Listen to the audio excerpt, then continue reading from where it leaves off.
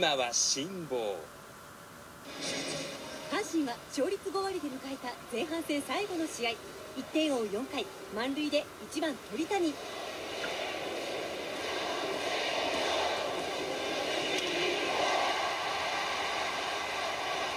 あと一伸び足りませんでした。3点を追う9回はランナーを2人置いて3番福留。ホームランと打点でチームトップですが1本が出ませんでした。阪神は完封負け。和田監督は今は辛抱と後半戦の奮起を期待しました。